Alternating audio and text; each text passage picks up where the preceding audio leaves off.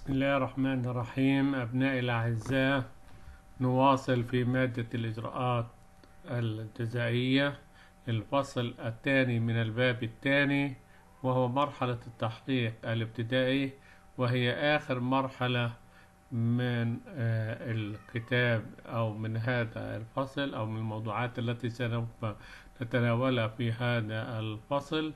وهي وإن كانت آخر موضوع من الموضوعات إلا أنها تعتبر أول مرحلة من مراحل التحقيق الابتدائي وهي المرحلة التي تعقب مرحلة الاستدلال وهي أول مرحلة لمراحل التحقيق الابتدائي التي وهو الذي يتميز عن التحقيق النهائي ال- المتعلق بمرحلة المحاكمة والذي سوف نأخذه بالتفصيل أو نتناوله بالتفصيل إن شاء الله في الفصل القادم. التحقيق الجنائي قلنا هو عبارة إيه، بقسمه الفقه إلى قسمين قسم أو نوعين. هو تحقيق بمعناه الواسع وتحقيق بمعناه الضيق. التحقيق بمعناه الواسع هو مجموعة الإجراءات التي تستهدف جمع الأدلة والعناصر اللازمة للفصل في الدعوة الجزائية وفيها يدخل مرحلة الاستدلال. أما التحقيق بمعناه الضيق وهو الذي يأخذ به غالبية الفقه فلا ينصرف إلا إلى ما آه، تقوم به سلطة التحقيق من إجراءات بشأن جمع الأدلة والكشف عن الحقيقة. وهاي المرحلة تتم بمعرفة النيابة العامة أو بمعرفة مأمور الضبط القضائي في أحوال التفويض أو في أحوال اللي هو التلبس. وهاي المرحلة مرحلة التحقيق الابتدائي هي التي تمهد لمرحلة المحاكمة. كنا مرحلة الاستدلال تمهد لمرحلة التحقيق الابتدائي. ومرحلة التحقيق الابتدائي بتمهد لمرحلة التحقيق النهائي أو مرحلة المحاكمة. طيب ليش إحنا بنيجي بنعمل التحقيق الابتدائي؟ أو بمعنى آخر ما هي أهمية مرحلة التحقيق الابتدائي؟ بنقول إنه تكمن مرحلة التحقيق الابتدائي في مرحلتين أو في ناحيتين أو في زاويتين. الزاوية الأولى هي زاوية عملية أو ناحية عملية والأخرى هي قانونية. نشوف إيش القيمة العملية لعملية التحقيق. أول شيء يقوم التحقيق بتحضير الدعوة. اذا أول شيء أنا هذا التحقيق الابتدائي جمع لي كل ما يتعلق بملف القضية. وبالتالي فيها قمت أنا بسماع الشهود وسماع البينات وأخذت البصمات وأخذت إذا كان في أدلة جنائية له علاقة بأسلحة نارية أو أو بالدم وكل الأشياء اللي أنتم أخذتوها في الأدلة الجنائية في هاي المرحلة بتم تحديدها. وباجي بقوم بعملية موازنة. هل إنه هذه الأدلة جاهزة أو إنه ممكن أقدمها لمرحلة المحاكمة أو لقاضي الحكم أو لا؟ وبالتالي إذا كانت هذه الأمور جاهزة إلى مرحلة المحاكمة فأنا إيش؟ بوديها لمرحلة المحاكمة. أو إنه أنا بقوم بحفظ الأوراق أو بحفظ هذا آه، الملف. إذا أول شيء يقوم التحقيق الابتدائي بتحضير الدعوة وتحديد مدى قابليتها للنظر أمام قضاء الحكم من عدمه. إما بحفظ القضية أو بحولها إلى المحكمة. وطبعا ونظرا لأنه يباشر بعد وقوع الجريمة مباشرة فهو طبعا إيش؟ بحافظ على الأدلة من عملية الضياع وعملية التشويه أو تغيير صورة الحقيقة. النقطة الثانية يعمل على تأكيد التوازن بين حق الدولة في العقاب وبين الحرية الفردية للمتهم. عشان هيك إحنا قلنا إنه هاي المرحلة يجب الذي يتولى التحقيق فيها هي النيابة العامة. ويجب أن يمنح المتهم في هذه المرحلة الكثير من الضمانات التي آه، تكفل له حريته في التعبير عن رأيه والدفاع عن نفسه. وفي هذه المرحلة مهم أن يكون هناك بمحامي دفاع للمتهم. وحتى لم يكن هناك محامي دفاع هو يستطيع أن يقوم بالدفاع عن نفسه. عشان هيك بنقول لابد أن تكون سلطة التحقيق التي تتولى عملية التحقيق هي سلطة مستقلة ومحايدة. وبصراحة أنه هاي المرحلة كانت تمنح قبل تعديل قانون آه، الإجراءات الجزائية إلى قاضي التحقيق. والنيابة العامة كانت طرف والمتهم كان طرف وهو هو محامي. ولكن نتيجة بعض الانتقادات إلى قاضي التحقيق في هذه المرحلة وإطالة أمد التقاضي تم إلغاء ما يسمى بقاضي التحقيق وإحالة كل ما يتعلق بسلطاته وصلاحياته إلى النيابة العامة.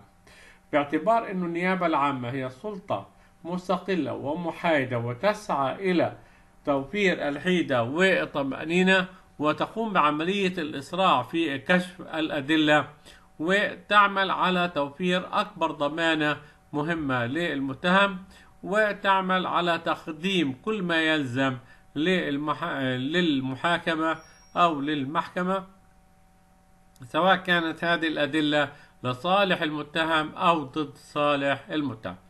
طب إلى أي مدى ممكن أن إحنا نقوم بإجراءات التحقيق الابتدائي؟ باختصار أن القانون لم يوجب إجراء التحقيق الابتدائي في كل الجرائم. ولكنه ألزم إجراء التحقيق الابتدائي في الجنايات وبالتالي لا يجوز للنيابة العامة أن تقوم بحالة أي قضية جنائية إلى محكمة البداية إلا بعد إجراء التحقيق من قبلها. أما الجنح والمخالفات فعملية التحقيق فيها تخضع إلى السلطة التقديرية لوكيل النيابة. غالبا أو 99% من المخالفات ما فيش فيها أي نوع من أنواع التحقيق وبيتم آه، المحاكمة بناء على محضر الاستدلال أو محضر الاستدلال اللي تم.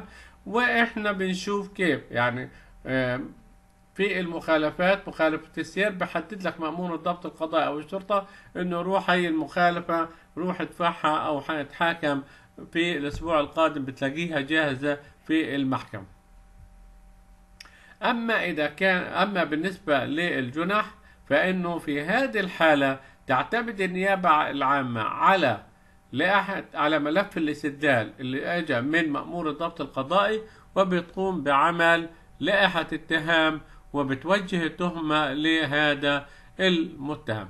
باختصار شديد بنلاحظ إنه آه، الجنايات الزامة فيها عملية التحقيق الابتدائي. الجنح إذا رأت النيابة ضرورة لعملية التحقيق وخصوصا في الجنح الخطيرة ولكن في المخالفات نكتفي بمحضر الاستدلال. طيب بنيجي بنقول طبعا مين بده يقوم بعملية التحقيق في الجنايات؟ اللي هو طبعا النيابة العامة وكيل النيابة العامة بقوم بإجراء التحقيق في هذا الملف. وبعد ما يخلص بحوله للنائب العام أو أحد مساعديه والنائب العام هو اللي بيقوم بعملية التوقيع على هذا الملف. وإما بقول لك إنه هذا الملف صالح أو أعيد النظر فيه مرة أخرى. طبعا عشان هذا الموضوع من الأشياء المهمة إحنا قمنا بتقسيمه إلى أربع مباحث. هنتعلم ناخد فيه بعض الأشياء المهمة ونترك الأشياء الغير مهمة لعملية الدراسة والاطلاع عليها. وبالتالي لازم نتعرف على ماهية التحقيق الابتدائي وخصائصه بنمر عليها بشكل سريع وسوف نشير إلى موضوع تنظيم القضاء التحقيق الابتدائي بسرعة ونركز بشكل أكثر على إجراءات التحقيق الابتدائي والتصرف في التحقيق الابتدائي. إذا المبحث الثالث والمبحث الرابع من الموضوعات المهمة في هذا الموضوع. نبدأ على بركة الله ماهية التحقيق الابتدائي. بنقول التحقيق الابتدائي ومرحلة تستهدف الكشف عن الحقيقة في الدعوة الجزائية وهو يعني التنقيب والبحث وكل ما يتعلق بالأدلة التي تساعد على معرفة مدى صلاحية عرض القضية إلى القضاء من عدمه. إذا هو مرحلة. آه، آه، ناخد التعريف اللي بعده. بنقول التحقيق الابتدائي هو مجموعة من الإجراءات التي تستهدف التنقيب عن الأدلة بصدد جريمة أرتكبت ويتم تجميع هذه الأدلة وبعد ما نجمعها بنقوم بعملية وزنها وبتقديرها لتحديد مدى كفايتها لإحالة المتهم إلى المحاكمة. أو هو مجموعة من الإجراءات التي تباشرها سلطات التحقيق بالشكل المحدد قانونا بغية تمحيص الأدلة والكشف عن الحقيقة قبل المحاكمة. طبعا هيك إحنا فهمنا ما هو المقصود بمرحلة الأدلة. مرحلة التحقيق الابتدائي. قلنا هي المرحلة التي تلي مرحلة جمع الاستدلالات وهو عبارة عن آه، مجموعة من الإجراءات آه، تتخذها النيابة العامة أو سلطة التحقيق للكشف عن الأدلة وعن آه، الأدلة التي لها علاقة بالجريمة وتقدير هذه الأدلة وشوف ووزنها ومدى كفايتها لإحالة المتهم إلى المحاكمة من من عدم. طبعا المشرع لم يحدد ما هو المقصود بإجراءات التحقيق واقتصر على توضيح هذه الإجراءات وحدد وبين شروط صحة كل إجراء من هذه الإجراءات. طبعا هذه الإجراءات التي متعلقة بجمع الأدلة لم ترد على سبيل الحصر وبالتالي كل دليل يساعد في كشف الحقيقة هو مباح للمحقق أن أن أن يستخدمه طالما أن هذا الدليل مطابق إلى القانون ولم يتضمن أي مساس بالمبادئ العامة الخاصة بحقوق الدفاع. غاية التحقيق الإبتدائي يعني ما هو الهدف من التحقيق الإبتدائي بنقول إنه التحقيق الابتدائي هو أحد الوظائف الأساسية للقضاء الجنائي أو هو أحد الخطوات المهمة في الجنايات لكي يتم عملية كشف الحقيقة سواء كانت لصالح المتهم أو ضد مصلحة المتهم. إذا الهدف منه هو معرفة الحقيقة للوصول إلى آه، إما إحالة القضية إلى القضاء أو حفظ هذه الأدلة. بمعنى آخر أنه هدف التحقيق الابتدائي هو الوصول إلى الحقيقة وسواء كانت هذه الحقيقة لصالح المتهم أو ضد مصلحة المتهم وهذا طبعا له علاقة. بمعنى آخر هل أنه مؤشرات الاتهام كافية لإدانة المتهم أو غير كافية لإدانة المتهم؟ إذا كافية لإدانة المتهم منا ننتقل إلى مرحلة الإحالة إلى مرحلة المحاكمة أو إذا مش كافية بدنا نحفظ هذه الأدلة. طبعا عشان أحقق هذا الموضوع بنلاحظ أنه آه القانون منح سلطة التحقيق الكثير من الوسائل التي من حقها استخدامها وإن كانت هذه الوسائل تمتاز بعملية القهر زي أوامر الضبط والإحضار والقبض والتفتيش والحبس الاحتياطي وتحليف الشهود والخبراء اليمين ومعاقبة الشاهد لعدم الإشلاء بشهادته أو لعدم حلفه اليمين. كل هذه الأدلة إن شاء الله حنتعرف عليها بشكل هذا طيب مدى وجوب إجراء التحقيق الابتدائي؟ قلنا إنه التحقيق الابتدائي واجب و ولازم في الجنايات وبالنسبة للجنح والمخالفات فإنه تخضع للسلطة التقديرية للتحقيق. بنيجي بدنا نشوف المطلب الثاني وهو خصائص التحقيق الابتدائي. طبعا التحقيق الابتدائي يمتاز بكثير من الخصائص ولكن إحنا بنركز على ثلاث خصائص مهمة جدا وهو تدوين إجراءات التحقيق. بمعنى أنه كل ما يتعلق بإجراءات التحقيق يجب أن يتم تدوينه. النقطة الثانية يجب أن يباشر التحقيق في مواجهة الخصوم. ثلاثة إجراءات التحقيق الابتدائي ونتائجه يجب أن تكون من الأسرار ولا يجوز نشر هذه الأسرار. إذا بنقول إنه تدوين التحقيق الابتدائي من الأمور المهمة وذلك للحفاظ على كل المعلومات وكل البصمات وكل الأدلة وكل الوقائع من النسيان أو التداخل أو عملية الضياع. وعشان هيك بنيجي بنلاحظ إنه كل القوانين بتنص على إنه يجب أن يكون التحقيق الابتدائي وخصوصا بعد الأخذ بنظام التحري والتنقيب إنه لازم كل الإجراءات تكون ما يتم تدوينها وكل الأقوال وكل ما يتلو به المجني عليه أو المتهم أو شهود لازم يتم المحافظة عليه بالكتابة لأنه لو بدنا نعتمد على الذاكرة بتم نسي هذه الأمور وخصوصا أنه تطول أحيانا فترة المحاكمة وبالتالي ممكن أنه هو ينسى المحقق كل ما يدور في ذهنه مع مرور الزمن. وبالتالي إنه تبقى عملية تدوين إجراءات التحقيق الابتدائي هي حجة يتعامل فيها الآمرون والمؤتمرون وبالتالي هي أيضا تشكل ضمانة هامة للمتهم وضمانة هامة للنيابة العامة لأنه المتهم يستطيع الرجوع إلى محاضر الإجراءات والاطلاع على الشهادات المقدمة ضده وبناء عليها يستطيع تحضير دفاعه. أما بالنسبة للنيابة العامة القائمة بالتحقيق فإنه طبعا يبعد عنها الشبهة, الشبهة وبالتالي تستطيع أن تقوم بتلاوتها على أصحابها وإقرارهم من قبلها طبعا له أهمية كبيرة التحقيق التدوين و طبعا بيلعب دور مهم أيضا عند قضاة الحكم لأنه قاضي الحكم بيطلع على ملف التحقيق قبل ما ينظر في هذه القضية فبتكون لديه خلفية كاملة عن مجريات التحقيق. طب مين اللي بتقوم بعملية إجراء التحقيق؟ بنلاحظ أنه أسند المشرع مهمة التدوين إلى كاتب التحقيق المختص في المادة 58 من قانون الإجراءات الجزائية طبعا وجود الكاتب له كثير من الفوائد. أولا أنه وجود الكاتب لتدوين التحقيق بيساعد المحقق على التفرغ لمجريات التحقيق وأن يقوم بتوجيه الأسئلة ومناقشة الشهود.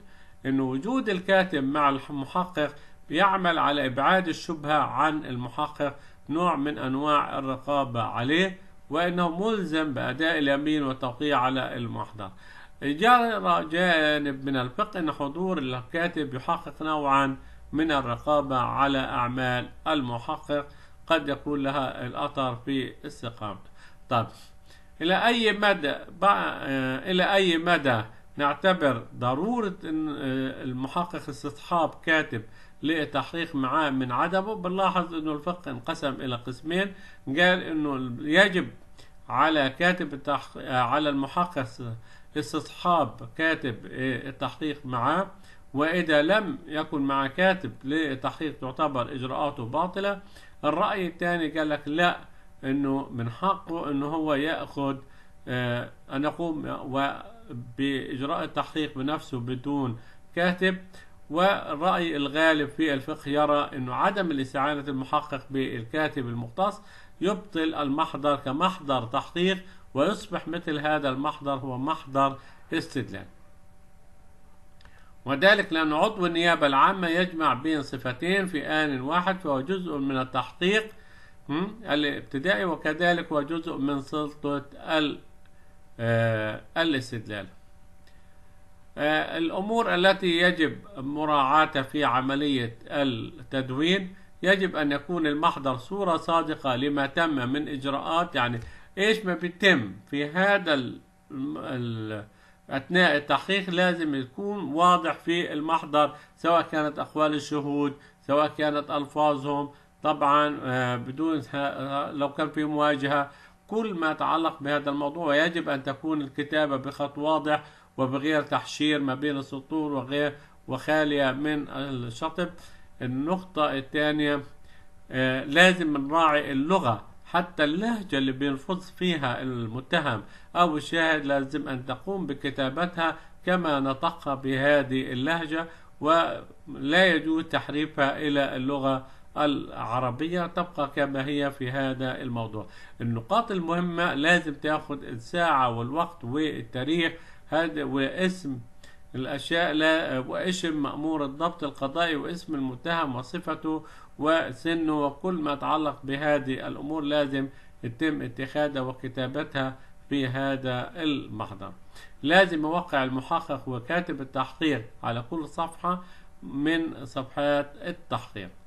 كذلك لازم يوقع المتهم والشهود على هذا المحضر.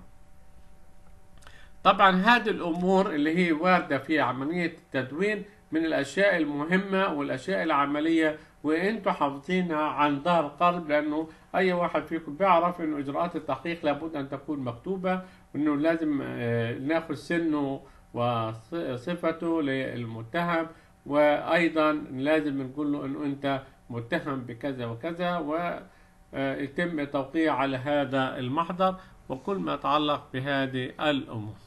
النقطة الثانية مباشرة التحقيق في حضور الخصوم وهو يعني بمعنى آخر إحنا بنقول عدم العلنية وليس بالسرية. إيش السرية؟ إنه ما تتمش كل إجراءات التحقيق بعيدة عن المتهم. لا لابد ان المتهم يعرف كل ما يدور في هذا الموضوع. المقصود بعلنية التحقيق هو تمكين أطراف الدعوة. طبعا إحنا بناخد بالعلنية المطلقة في التحقيق الابتدائي وعدم العلنية أو محدودية العلنية بالتحقيق الابتدائي. يقصد بعلنية التحقيق تمكين أطراف الدعوة ووكلائهم وجمهور الناس من حضور إجراءات التحقيق كما أنها تتخذ مظهرا أوسع من حالة حضور الخصوم ووكلائهم إذا أذيعت أعمال التحقيق في الصعود طبعا اختلفت الأنظمة الإجرائية في مدى الأخذ بالعلنية. طبعا تعتبر العلنية أحد ركائز التحقيق الابتدائي في النظام الاتهامي في حين تعتبر السرية المطلقة هي الطابع المميز للتحقيق في نظام التحري والتنقيب. لكن التشريعات الحديثة حاولت التوفيق بين مصلحة المتهم في حضور التحقيق وبين مصلحة المجتمع في جمع الأدلة ووصولا إلى الحقيقة. إلا أن الاتجاه الغالب في الفقه وحتى في القوانين يأخذ بعدم العلنية بالنسبة للجمهور في مباشرة التحقيق الابتدائي. نكتفي فقط بحضور الخصوم إلا في أحوال استثنائية تجرى إجراءات التحقيق بشكل سري في غيبة المتهم إذا كانت في حالة اللي هو الاستعجال أو في حالة الضرورة. موقفنا من عدم العلنية. نحن نفضل أنه يمتاز التحقيق الابتدائي بعدم العلنية لأسباب كثيرة. أنا بقول إنه أنتم من الضروري إنه أنتم تمروا عليها مرور سريع في هذه الأحوال. أحوال سرية التحقيق وقلنا إنه سرية التحقيق بتكون في حالة الضرورة أو في حالة الاستعجال. طبعا المفروض إنه أنتم بس تمروا يعني تفهموا ما هو المقصود بحالة الضرورة وما حالة الاستعجال. تمام؟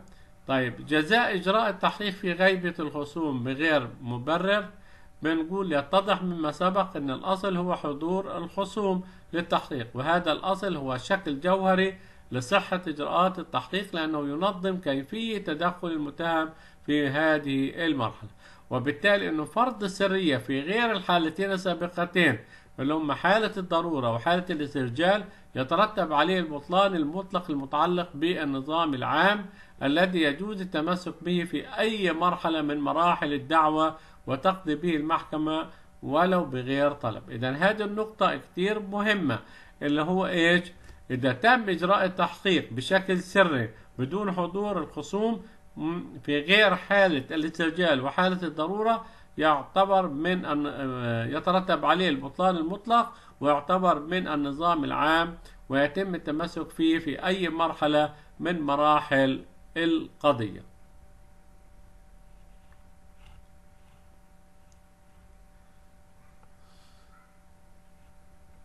طيب ما هي مظاهر العلنية؟ مظاهر العلنية هي إنه حضور المحامي إجراءات التحقيق والاطلاع على أوراق التحقيق. يعني لابد أن يكون في عندنا محامي إجراءات التحقيق وطبعا في عندنا ضرورة الاطلاع على أوراق التحقيق أو ملف التحقيق. بنلاحظ إنه معظم التشريعات أخذت بمبدأ عدم العلنية. وهي تعني تمكين الخصوم ووكلائهم من حضور إجراءات التحقيق. في فرق ما بين عدم العلنية والسرية تمام؟ والعلنية. العلنية المطلقة بتكون في مرحلة المحاكمة. عدم العلنية بتكون إنه هو إيش؟ في مرحلة التحقيق الابتدائي بتكون محصورة فقط على الخصوم اللي هو النيابة العامة والمتهم ووكلائهم وممكن المدعي بالحق المدني أو المسؤول عن المدني. أما غير هيك فيش إمكانية لحدا إنه يحضر مرحلة التحقيق ولكن الفقه يجمع يجمع على إن المتهم ومحاميه يعتبران شخصا واحدا في إجراءات التحقيق والمحاكمة. وإذا قيل بالسرية لأحدهما وجب القول به للآخر دون أي تفرقة وهذا واضح من نص المادة 102 من قانون الإجراءات الجزائية. أهمية حضور المحامي لمرحلة في مرحلة التحقيق الابتدائي. طبعا هذه أهمية كل واحد فيكم يعني ممكن يفسرها بطريقته الخاصة لكن هي تكمن في اعتبار إعطاء للمتهم كثير من الضمانات ورفع معنوياته النفسية وأيضا إنزال الهدوء والاتزان في الإجابة على في التحقيق وإعطاء نوع من أنواع الرقابة على القاضي على وكيل النيابة وبالتالي نوع من أنواع نزاهة التحقيق. النقطة الثالثة الاطلاع على أوراق التحقيق. يمكن اعتبار اطلاع المتهم ومحاميه على أوراق التحقيق من أهم مظاهر العلنية وبالتالي يستطيع المتهم عشان يدافع عن نفسه الرجوع إلى هذه الأوراق. وبالتالي أنه هذا الحق كفلته العديد من التشريعات وتمكن اللي هو المتهم ومحاميه من الاطلاع على الأوراق.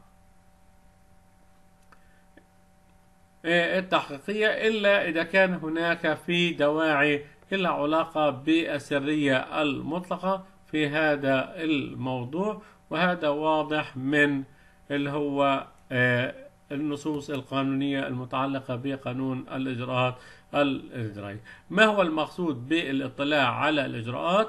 وتمكين المدافع أو المتهم من تصفح محاضر التحقيق لكي يأخذ علما بالأدلة التي جمعت خلاله والتي من خلالها يستطيع الدفاع عن نفسه وهي التي سوف تبرر تقديمه للمحاكمة.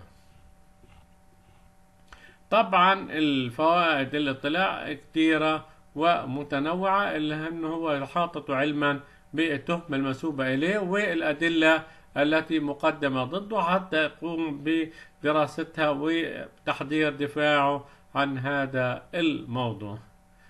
طب هل يجوز أنه يأخذ صور من الملف يستطيع أن يأخذ صور من الملف ولكن على نفقته الخاصة. هيك بنكون خلصنا المبحث الأول. هنيجي للمبحث الثاني وهو تنظيم قضاء التحقيق. طبعا بتنظيم قضاء التحقيق بمعنى آخر. هل أنه التحقيق الابتدائي يتم إسناده إلى قاضي التحقيق أو إلى النيابة العامة؟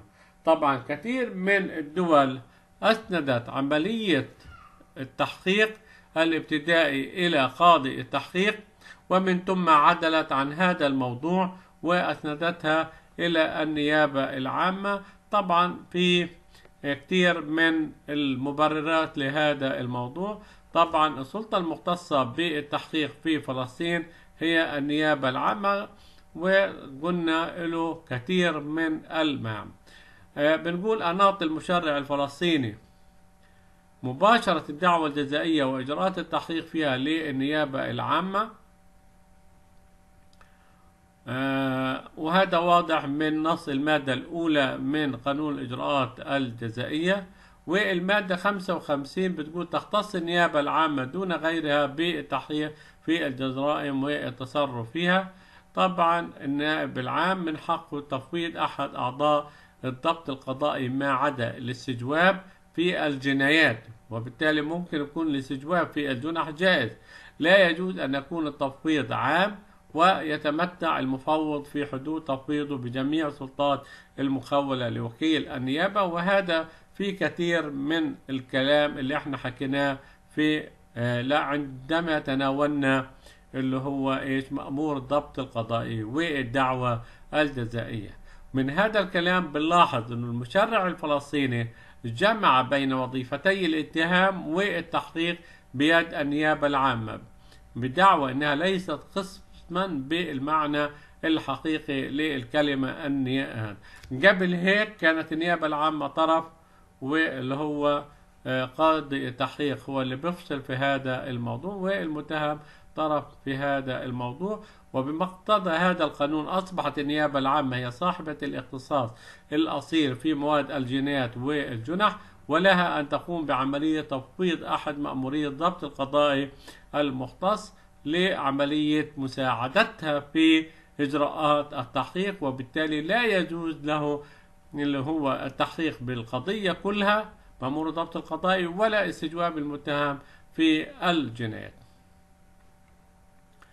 آه، طبعا من ضمن الصلاحيات والمهمة للنيابة العامة اللي هي المادة 51 وأنا بأكد عليها لازم تطلعوا عليها لأنها مهمة للنائب العام أو أحد مساعديه أن يضبط لدى مكتب البرق والبريد والخطابات والرسائل والجرائد والمطبوعات والطرود والبرقيات المتعلقة بالجريمة وشخص مرتكبها هذه صلاحيات مطلقة للنائب العام أو أحد مساعديه طيب النقطة الثانية لا يجوز له للنائب العام لا يجوز للنائب العام مراقبة المحادثات السلكية واللاسلكية وإجراء تسجيلات الأحاديث في مكان خاص بناء إلا بناء على إذن من قاضي الصلح. متى كان لذلك فائدة في إظهار الحقيقة في جناية؟ أو جنح يعاقب بالحبس لمدة لا تقل عن سنة. يجوز عملية الضبط والمراقبة والتسجيل ل 15 يوم قابلة للتسجيل مرة واحدة. هذه هذه موضوعات يعني مهمة إنه إحنا نعرفها ونحفظها عن ظهر قلب وناخد منها في هذا الموضوع. المبادئ العامة التي تحكم تنظيم القضاء استقلال سلطة التحقيق الابتدائي والفصل فيها وموقف الفقه والحجج هذا مش مطلوب منكم ولكن مطلوب قراءة فقط في هذا الموضوع. عشان هيك في المحاضرة الجاية إن شاء الله هنيجي مباشرة لعملية المبحث الثالث إجراءات التحقيق الابتدائي. نكتفي بهذا القدر ونبدأ في المحاضرة الجاية إن شاء الله بالتحقيق الابتدائي.